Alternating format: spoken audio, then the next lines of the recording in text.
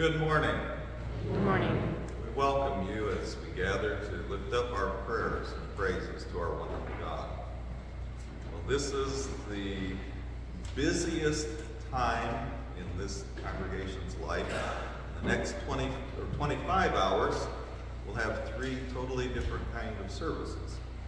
And today also happens to be the shortest uh, fourth week of Advent in the entire calendar because this morning we are observing the fourth Sunday of Advent, but this evening already we'll be celebrating Christmas Eve. And then tomorrow, of course, the Nativity, the birth of our Savior. So hopefully you can take part in as many of those opportunities as possible. Uh, the service this evening begins at 6.30. The service tomorrow begins at our regular morning time of 8.45. And uh, one thing, if anybody would like to help in either the copy room or with um, cleaning, there are sign-up lists out in the entry area.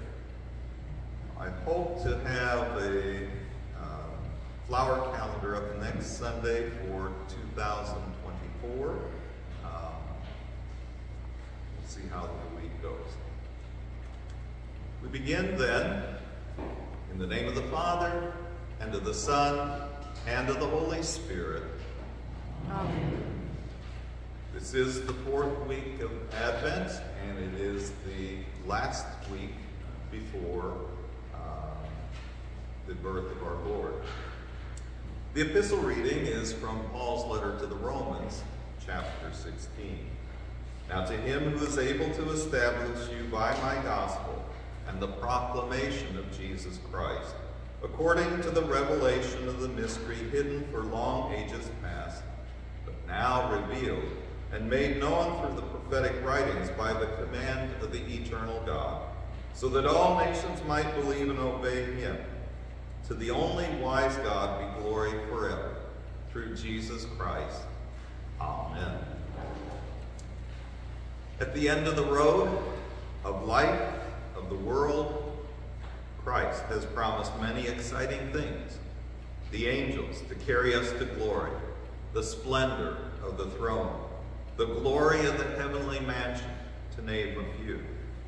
God has made monumental promises of mighty blessings in store for us. These blessings are received through faith. Faith holds not only to Christ, but also to the promise of standing in the presence of God. These promises of God sustain God's people. Through faith, they have overcome persecution and martyrdom.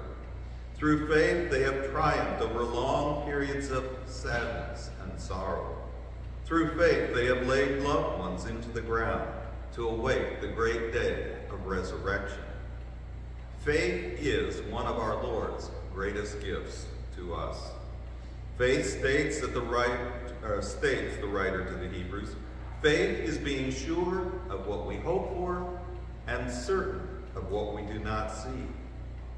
Christmas and the birth of our Lord open a whole array of promise laid before us by our loving God, which we receive through faith. So it is fitting that one of our Advent candles symbolize faith.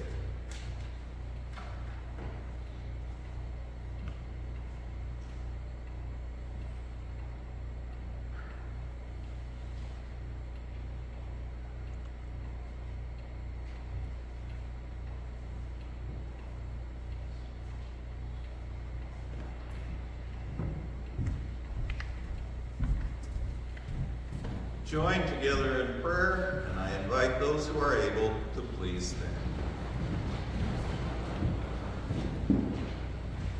stand.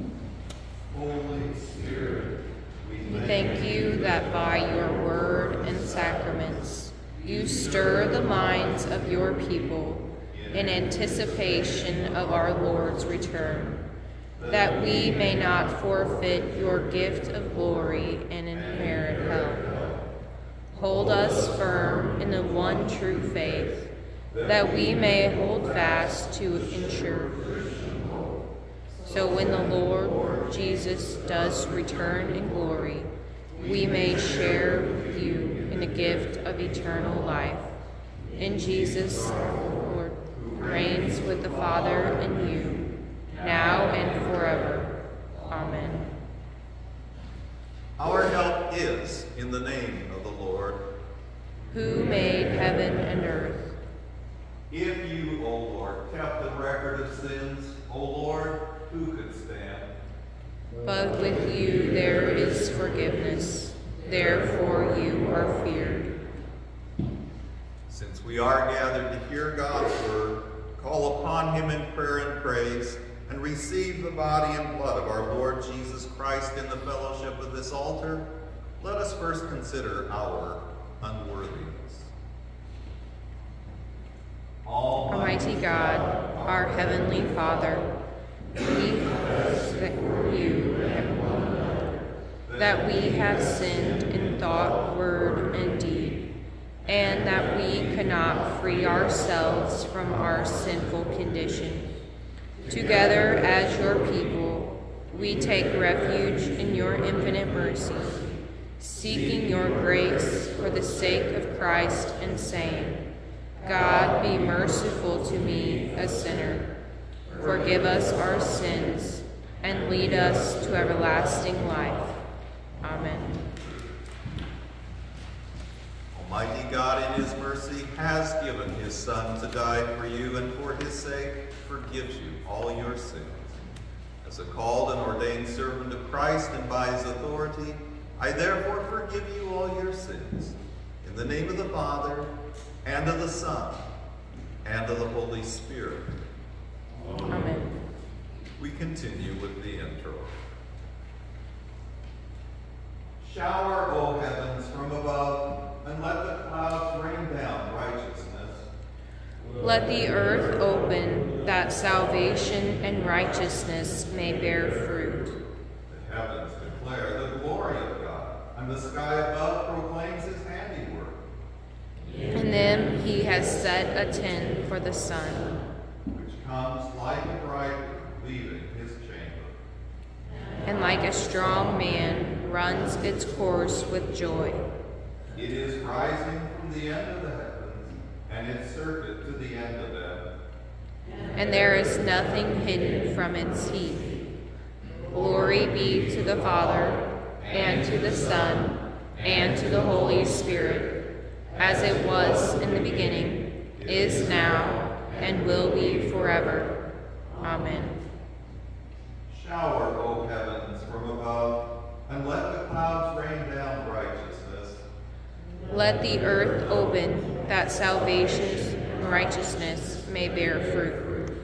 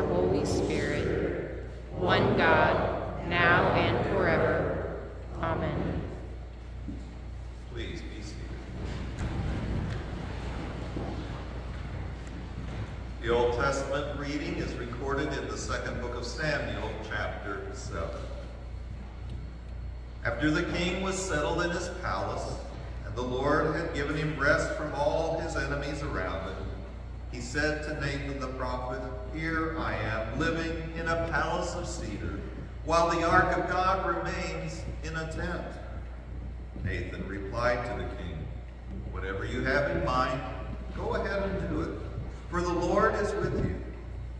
That night, the word of the Lord came to Nathan, saying, Go and tell my servant David, this is what the Lord says. Are you the one to build me a house to dwell in? I have not dwelt in a house from the day I brought the Israelites up out of Egypt to this day. I have been moving from place to place with a tent as my dwelling. Wherever I have moved with all the Israelites, did I ever say to any of their leaders, whom I command to shepherd my people Israel, Why have you not built me a house of cedar? Now then, tell my servant David, this is what the Lord Almighty says. I took you from the pasture and from following the flock to be ruler over my people Israel. I have been with you wherever you have gone, and I have cut off all your enemies from before you. Now I will make your name great, like the names of the greatest men of the earth. And I will provide a place for my people Israel, and will plant them so that they can have a home of their own, and no longer be disturbed. Wicked people will not oppress them anymore as they did at the beginning, and have done ever since the time I appointed leaders over my people Israel. I will also give you rest from all your enemies. The Lord declares to you that the Lord himself will establish a house for you. Your house and your kingdom will endure forever before me, and your throne will be established forever. This is the word of the Lord. Thanks be to God. We join to sing the gospel acclamation. I invite you to please stand.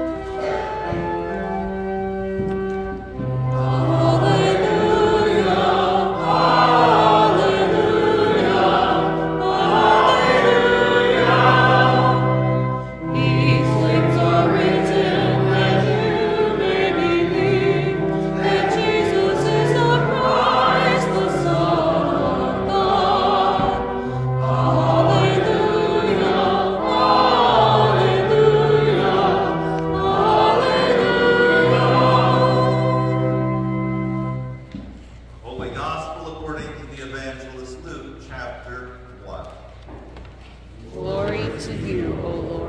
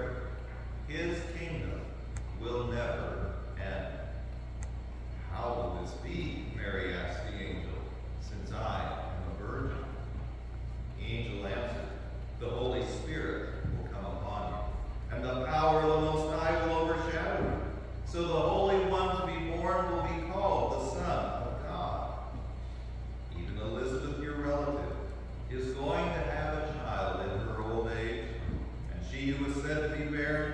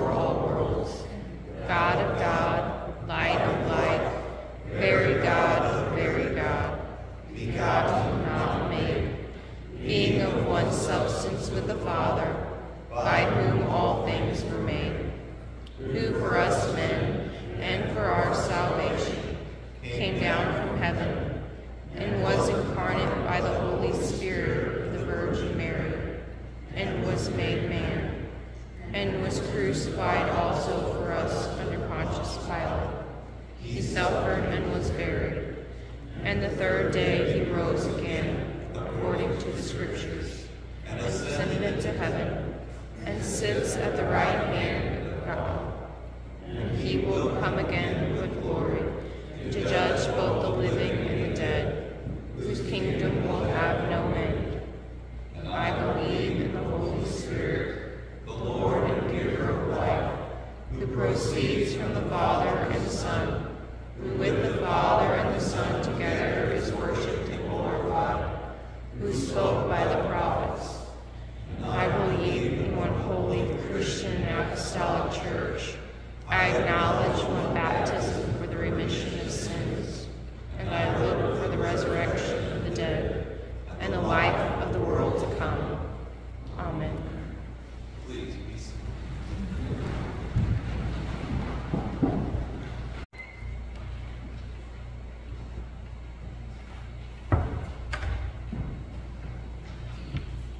Grace, mercy, and peace be to you from God our Father and from our Lord and Savior Jesus Christ. Amen. Your brothers and sisters in Christ, our Advent King, and our wonderful Savior. The name Emmanuel means God with us. This was the name that the prophet Isaiah shared with King Ahaz. Isaiah challenged Ahaz to ask God for any sign that he wanted. He could have used Yahweh's help in the attack by Syria and Israel upon Judah, in building up faith and love in the nation of Judah, even in strengthening his own faith. Yet, he asks for nothing. While Isaiah pleads with Ahaz, ask the Lord your God to for a sign. In the very next breath, Isaiah realizes Ahaz is faithless when Ahaz refuses to ask for anything. Though Ahaz refuses God's offer to ask boldly, God is not miserly. God graciously provides a son. The virgin will be with child and will give birth to a son and will call him Emmanuel. But long Emmanuel to his people, God already was with his people. In fact, he was always with them. Never a doubt on God's part, just on the part of humans. His people didn't always believe it. Even if this name God, Emmanuel, had never been given, God's people should have been secure that God was always with them. Israel's history was filled with events showing that God is with his people, that he doesn't forsake them. that he fulfills his promises to his people. Once upon a time, God's people were at the border of the promised land. The report that the spies had offered after surveying that land was favorable. The land is good. It's a land of milk and honey. Don't fear the inhabitants. God will give them as bread to us. This their protection is gone. The Lord is with us. What did the people want to do to Joshua, Moses, and Aaron? Stone them. Two centuries later, God's people were inhabiting that land of milk and honey. The 12 tribes had received their division of land. The people of each tribe were marrying, having children, and living out their callings. But there were problems, disagreements, even battles and wars. Why? Sin, disobedience, unbelief, even on the part of God's rulers. Judge Gideon was one such ruler. The former occupants of the land where he was at, the Midianites, were harassing the Israelites. Gideon complained, If the Lord is with us, why has all this happened to us? Where are all his wonders that our fathers told us about when they said, Did not the Lord bring us up out of Egypt? But now the Lord has abandoned us and put us into the hand of Midian. Hundred years passed. There were no more judges, but now there were kings, in particular David. God selected David to become the second king of Israel after Saul became unfaithful to God. When Saul and his sons met a tragic end, David became the new king. A major concern for David was a permanent place to house the Ark of the Covenant of the Lord. When he expressed this wish to build a temple, the Lord responded that this responsibility would fall upon his son Solomon. Still, God promised David, I took you from the pasture and from following the flock to be ruler over my people Israel. I have been with you wherever you have gone, and I have cut off all your enemies from before you. Now I will make your name great. These historic accounts prove that the God of Israel is with us. Emmanuel fights for us. What happens to this Emmanuel? Conceived by promise, this Emmanuel born of a virgin?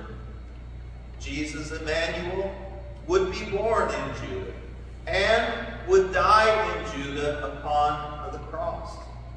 He would come for sinners to give life as a ransom for sinners, to redeem sinners, to save sinners.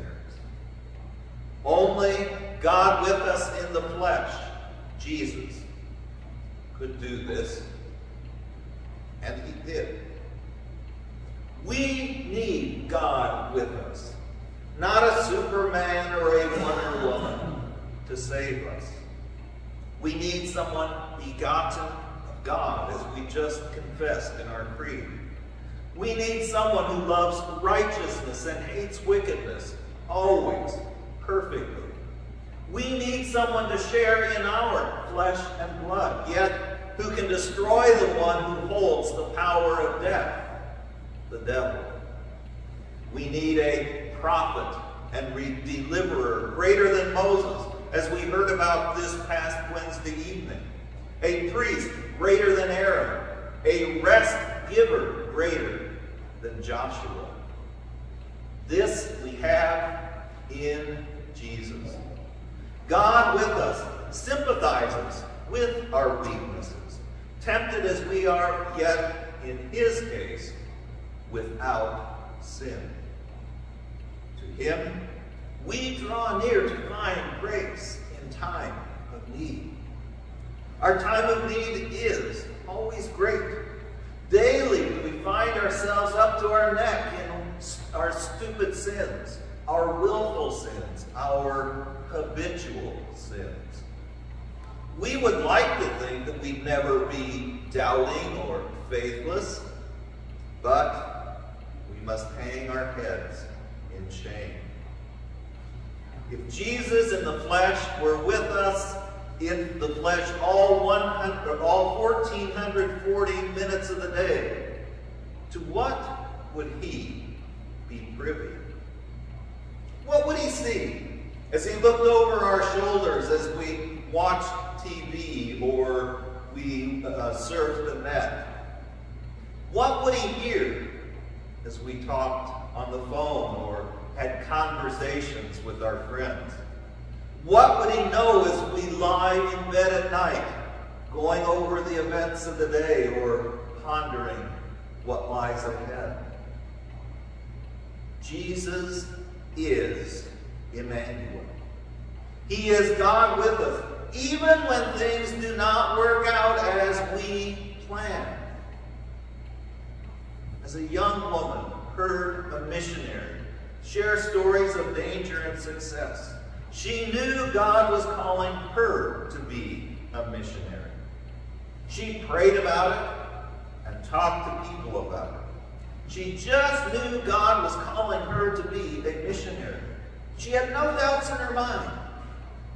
After graduating from high school, she studied to prepare to be a missionary at a Bible college.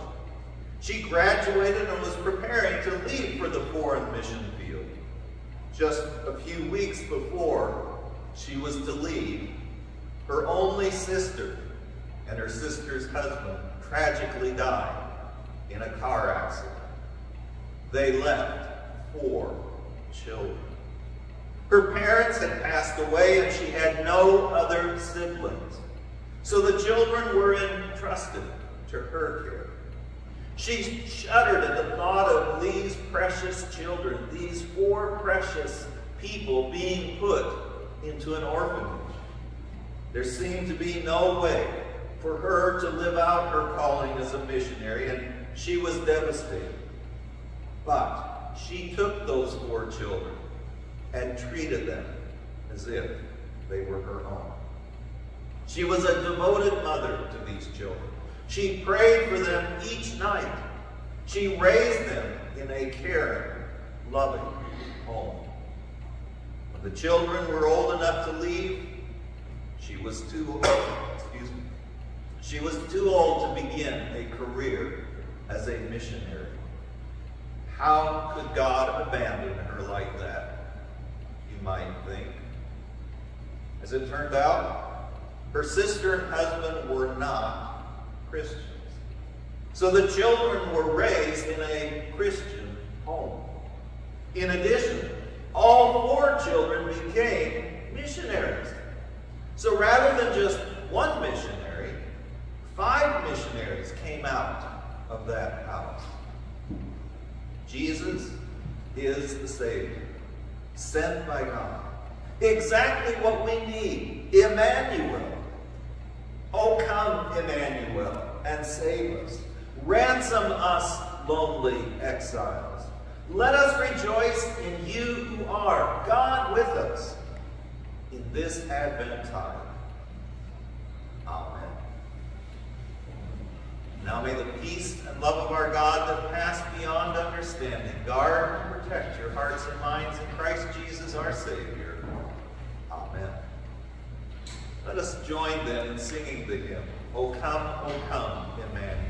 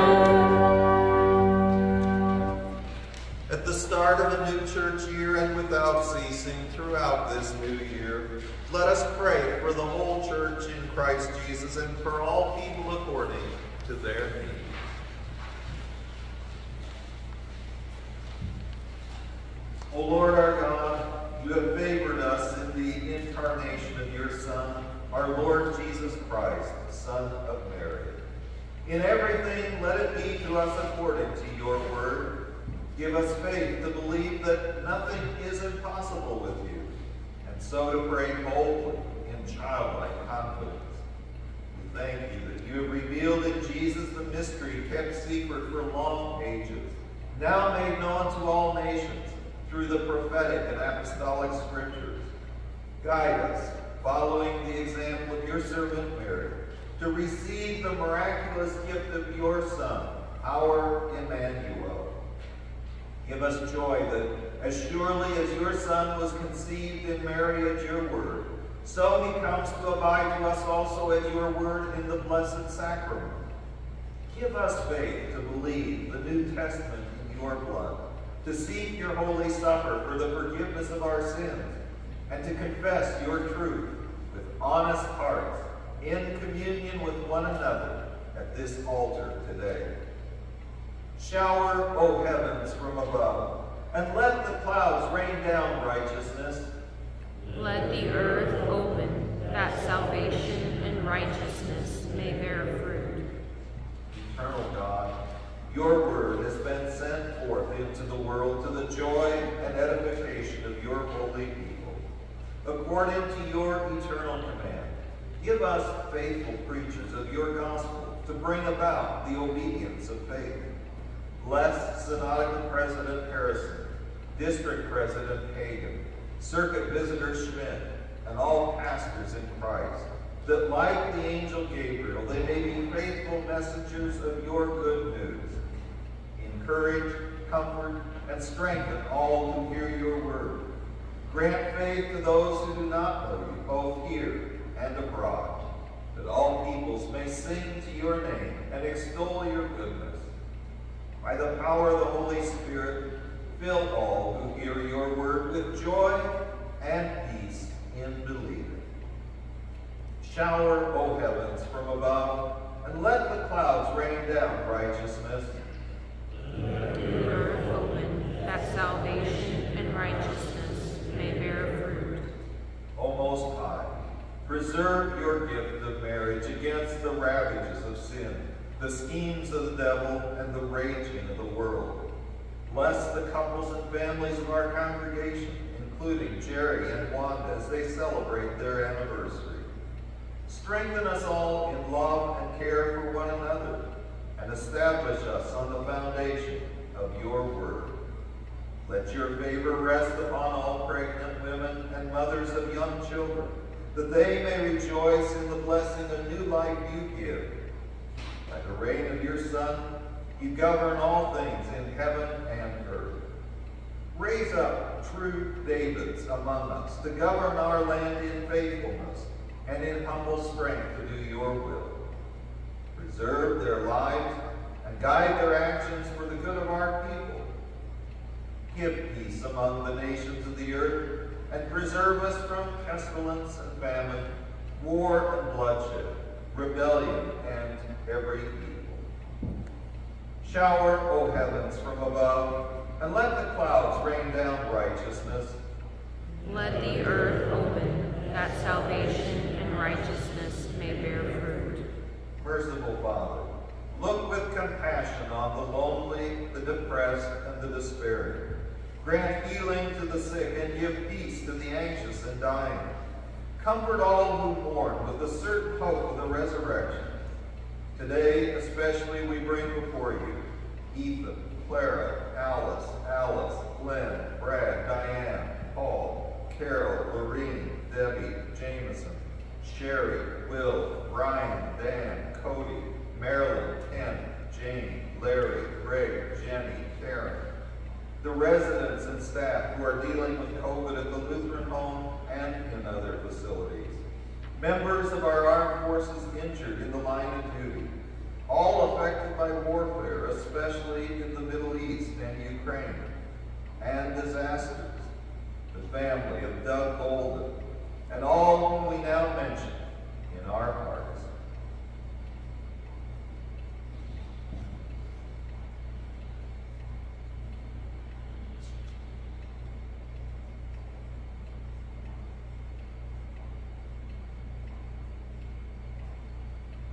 Give them the knowledge of Jesus, their Emmanuel, who is with them in all their trials. Grant them health and healing in accord with your perfect will. Shower, O heavens, from above, and let the clouds rain down righteousness.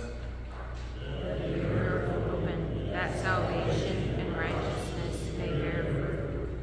O Lord of lords, we give you thanks for your Son, our Lord Jesus Christ, who is the key of David and the scepter of the house of Israel.